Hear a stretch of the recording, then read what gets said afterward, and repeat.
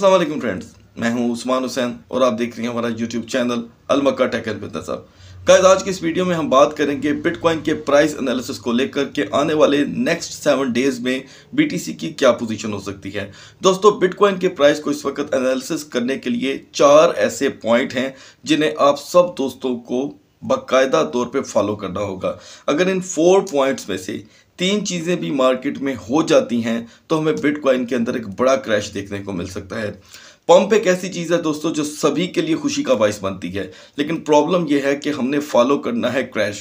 BTC के crash के कुछ ऐसे पॉइंट हैं जो इसे किसी भी सूरत मार्केट में डूबते, डूबने से रोक नहीं सकेंगे, जो मैं पॉइंट्स आपसे शेयर करने जा रहा हूँ। और दोस्तों, यहाँ पे सभी पॉइंट्स का जो ताल्लुक है मार्केट में फैलते हुए पैनिक ऑफ़ बाइनास की वजह से है। सो so गाइज़ ये सारी चीज़ें मैं इस वीडियो में कवर करूँगा। टेक्निकल एतबार से वीडियो को फॉलो कीजिएगा। अगर आप चाहते हैं कि कोई भी वीडियो आपसे हमारी मिस ना हो तो बेल आइकन के बटन के साथ साथ ऑल के बटन को क्लिक कर लीजिएगा, ताकि आपको हर अपडेट सब दोस्तों से पहले मिले जो भी दोस्त यहाँ पर ऑल के बटन को क्लिक नहीं करता, उनको हमेशा इश्यू रहता है नोटिफिकेशन ना मिलने का। सो so गाइज़ जैसे कि आप जानते हैं कि बाइनास के क्रैश होने का या बाइनास के मार्केट में बैंक होने का यहाँ पर एक फंड मौजूद है। ठीक है, फट समझ लें, फुट समझ लें, मैं पहले भी आपको बता चुका हूँ तो हम यहाँ पर पैनिक को यूज़ कर लेते हैं, ठीक है।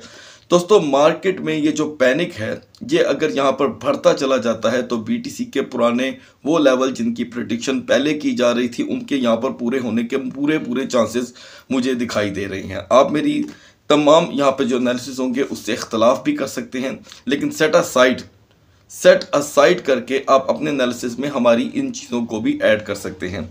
सो so गाइस जब भी आपने ट्रेड करनी है, आपने अपने एनालिसिस और अपने डू योर ऑन रिसर्च के ऊपर जो है हमारा फार्मूला है, उसके ऊपर वर्क करना है।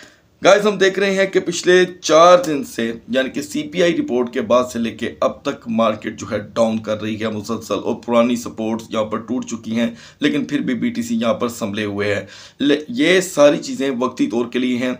मैं आपसे यहाँ पर डिस्कस करना चाहता हूँ कि बीटीसी ने पिछले तकरीबन 48 घंटों में कितना क्रैश किया, और उसी से हम आगे की बात करेंगे। सो so गाइज़ पिछले संडे जो मैंने आपसे वीडियो शेयर की थी उसमें बीटीसी के आपको कुछ लेवल्स बताए थे। उस वक्त मार्केट बीटीसी की 16,900 पर थी। मार्केट हाई लगा कर आ रही है 18,400 का। 16,900 18,400 गाइज़ ये करीब 1500 डॉलर का पंप आया। ठीक है? ये उसी वीडियो का नेक्स्ट पार्ट समझ लें जो मैंने आपसे संडे के संडे शेयर करने का वादा किया था। लेकिन मार्केट का पैनिक देखते हुए मैं इस वीडियो को आज एक दिन पहले आपसे शेयर कर रहा हूँ ताकि आप इसका फ़ायदा ले सकें। अभी मैं आपको बताने वाला हूँ दोस्तों कि बीटीसी में जितने भी दोस्तों ने 16,900 को यूटिलाइज करके सीपीआई रिपोर्ट को एंजॉय किया है उन्होंने बीटीसी से एक अच्छी खासी अर्निंग की होगी। मैं हमेशा से कहता आ रहा हूँ अपनी ऑडियंस को कि अगर आप बीटीसी में ट्रेड करना सीख जाते हैं तो आपको रिकवरी डाउनफॉल लॉस के डर से काफ़ी हद तक आज़ादी मिल सकती है। खैर, यहाँ पर मैं आपको बताने वाला हूँ दोस्तों कि अब मार्केट कहाँ का रुख इख्तियार कर सकती है। गाइस मार्केट में चार पॉइंट आपको फॉलो करने होंगे। First point point number one दोस्तों कि यहाँ पर बीएनबी क्रैश हो रहा है। बीएनबी क्रैश होने की वजह ये कंसीडर की जा रही है मार्केट में। कंसीडर की जा रही है है नहीं कि लोगों को पता चल गया है जी कि बाइनास बैंक होने वाला है। बैंक की ये जो अफवाहें हैं रियलिटी हैं, इसी की बेस पे बीएनबी की वैल्यू भी जुड़ी है, क्योंकि बीएनबी एक मेन हब है बाइनास का। उसका नेटिव टोकन ऑब्वियसली आपस में जुड़े हुए हैं, और पी ई पी ट्वेंटी हो, वो भी डिस्टर्ब होगी T T W T token हो, वो भी डिस्टर्ब होगा। जितने भी टोकन पी ई पी और बाइनास के साथ जुड़े हैं, उनको यहाँ पे डायरेक्ट हिट होने वाली है, अगर बाइनास से मजीद विड्रॉल्स होते हैं। ठीक है? दोस्तों, पहला पॉइंट है BNB का क्रैश दूसरा पॉइंट है विड्रॉल्स अब आपने विड्रॉल देखना है। मार्केट में बढ़ता हुआ विड्रॉल कहाँ का? बाइनास के प्लेटफॉर्म का। जाहरी बात है बाइनास को नीचे लेकर आएगा। इसके नेटिव टोकन को भी क्रैश करेगा और इसकी पोजीशन को भी डाउन करेगा क्योंकि एक एक मिनट के एसेट्स को यहाँ पर फॉलो किया जाता है। अब आपके सामने जो तीसरा पॉइंट है दोस्तों, वो आपको बहुत ही गौर से सुनना होगा, जो मैं समझता हूँ। इसी दरमियान अगर यूएस से बाइनास को अपने यूएस की जो टेरिटरी है, उसमें इसे बैन कर देता है, जो कि बहुत कम यूजेज है यूएसए में। यूएसए में समझ लें कि बाइनास का यूजेज पाँच परसेंट भी नहीं होगा। जबकि एशिया की बात करें तो एशिया में हंड्रेड परसेंट बाइनास का यूज़ है।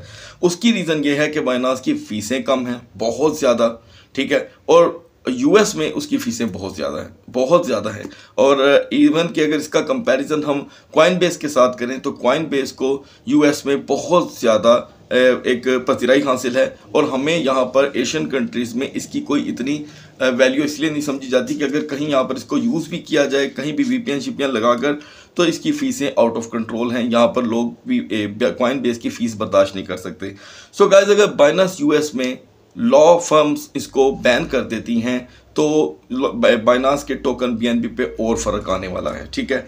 इसके बाद चौथा पॉइंट ये बहुत अहम है। इसके बाद जाकर फिर मैं आपको इसके प्राइस एनालिसिस बताने वाला हूँ। चौथा पॉइंट है दोस्तों कि अगर मार्केट में कोई नई अन, नागहानी कोई वाक्य हो जाता है जिसे हमने सोचा ही नहीं हुआ ठीक है? तो ये वैसे भी इस साल का तीसरा पैनिक है। दो तो है रियलिटी से जुड़े हुए थे लूना का उसके बाद हमने FTX देखा। अब ये जो तीसरा है, ये मार्केट के अंदर बहुत बुरी पोजीशन कर सकता है बीटीसी की। बहुत ज़्यादा एक्सपेक्टेशन जो लोगों की थी, जो लोगों ने मुँह से बातें निकाली हुई थी, वो यहाँ पर पूरी भी हो सकती हैं। हालाँकि उन्होंने एम जो मुँह में आया वो बकवास की हुई थी, लेकिन अब यहाँ पर हो सकता है ये चीज़ें। अच्छा अब बीटीसी को हम कंपेयर करेंगे लूना के क्रैश के साथ, ठीक है?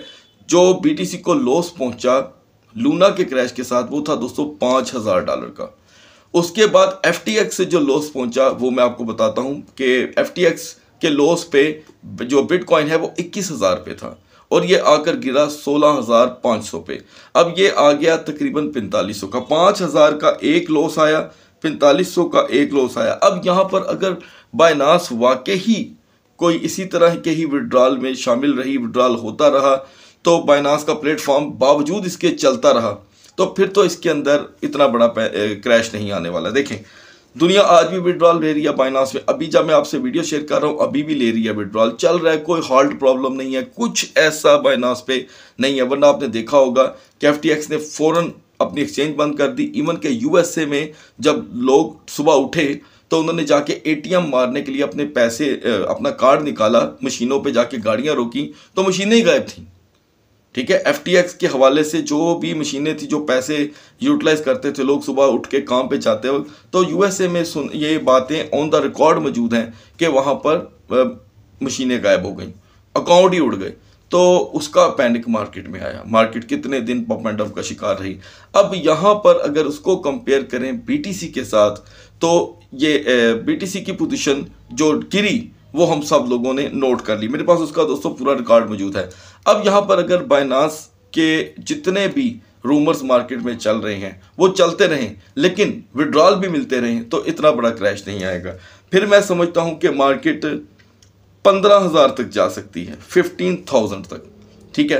पंद्रह हज़ार तक का लो आ सकता है। किस शर्त में? ये जेन में ये पॉइंट रखिएगा कि अगर विड्रॉल्स होते रहें लेकिन बायनास को कोई फ़र्क ना हो। आपने देखा होगा कि पिछले 48 घंटों से विड्रॉल्स हो रहे हैं, लेकिन हमने एक सेकंड का भी बायनास के प्लेटफॉर्म पे हॉल्ट नहीं देखा, कोई स्टक नहीं देखा, कोई ऐसी खबर नहीं है कि बायनास ने पैसे देने बंद कर दिए या ये हो गया, वो हो गया। अच्छा चलें दोस्तों, ये मेरे एनालिसिस हैं, आप इससे इख्तलाफ कर सकते हैं, लेकिन फिर भी बावजूद इसके, मेरी ये सारी बातें बताने का ये मतलब नहीं है कि बायनास बैंक नहीं हो सकती। एनी थिंग पॉसिबल मैं आपको आज की तारीख के जो मेन फैक्ट्स हैं, वो बता रहा हूँ। सो गैस बाइनास ऑन रहती है तो पंद्रह हज़ार तक का नॉर्मल क्रैश आएगा, जो रिकवर हो जाएगा इजीली लेकिन अगर यहाँ पर यह सिलसिला जारी रहता है और बाइनास का ये जो बैंक का मामला है, ये अगर सच साबित हो जाता है वन परसेंट हम यहाँ पर सोच रहे हैं। तो दोस्तों, वो जो पाँच हज़ार का लॉस हुआ बीटीसी की वैल्यू गिरी लूना की वजह से, वो जो पैंतालीस सौ की वैल्यू गिरी बीटीसी की एफटीएक्स की वजह से और बाइनास की वजह से, यहाँ पर पाँच हज़ार, चार हज़ार का लो नहीं आने वाला। ये लो दोस्तों बहुत बड़ा हो सकता है। ठीक है? इस लो को हम इस तरह एनालाइज कर सकते हैं कि जस्ट अभी बीएनबी की जो वैल्यू गिरी है, वो टोटल तकरीबन तीस डॉलर है। तीस डॉलर के क्रैश के बाद आप देख सकते हैं कि आल्ट कॉइन की हालत क्या हो गई है। तो यहाँ पर आल्ट कॉइन ज़्यादा डिस्टर्ब हो सकते हैं। तो अभी हम देखते हैं कि पिछले हफ़्ते की परफॉर्मेंस क्या रही। गायद आप देख सकते हैं कि यह है सीपीआई रिपोर्ट एरा ठीक है? सीपीआई रिपोर्ट आने से पहले हम यहाँ पे खड़े थे। उसके बाद आप देखिए मार्केट कहाँ गई। सीपीआई के बाद मार्केट मुसलसल डाउनफॉल कर रही है और अभी तक कर रही है। ये देखिए अभी ये सिलसिला ख़त्म नहीं हो रहा। तो अगर हम इसके पिछले डाउन ट्रेंड को फॉलो करें तो लास्ट इसका जो लो है वो 15,500 का है। अब 15,500 को टच करना मार्केट के लिए कोई इतनी बड़ी बात इस वीक में नहीं होगी। लेकिन हमें फॉलो करने होंगे दोस्तों ये चार पॉइंट जो मैंने आपको बताए हैं। इन्हीं के मुताबिक इनमें से तीन पॉइंट अगर इस हफ़्ते में हैपन हो जाते हैं हो जाते हैं मतलब ये हकीकत की शक्ल इख्तियार कर जाते हैं। तो बीटीसी दोस्तों कोई भी लेवल टच कर सकता है। ये कहकर मैं आपको पैनिक नहीं सो गाइज़ मार्केट में ऐसी जितनी भी प्रोडिक्शन होगी कि बी टी सी छः हज़ार पे जा सकता है, सात हज़ार पे जा सकता है, दस हज़ार पे जा सकता है, ये वही लोग ऐसी बातें कर रहे हैं जिनको कोई पूछने वाला नहीं है, ठीक है? जिनसे कोई हिसाब किताब नहीं ले सकता। लिहाजा मैं ये नहीं कहता कि मार्केट्स की जो कि है, आठ हज़ार पे चली जाएगी छः हज़ार पे चली जाएगी, लेकिन हमें फैक्ट्स एंड फिगर फॉलो करने होंगे, जो मैंने आपसे शेयर किए हैं। लेट्स सपोज़ ये फैक्ट्स एंड फिगर जो मैंने आपसे शेयर किए हैं, इनमें से कुछ भी नहीं होता तो आपको बी टी सी में भी अपने प्राइस पे ही देखने को मिले। तो ये खदशात थे जिनको लेकर आपने चलना है।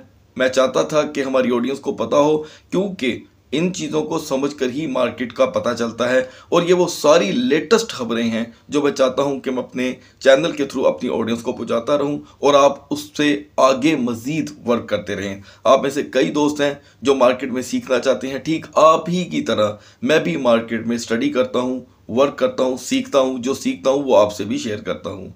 अगली वीडियो तक दोस्तों, अल्लाह हाफिज़।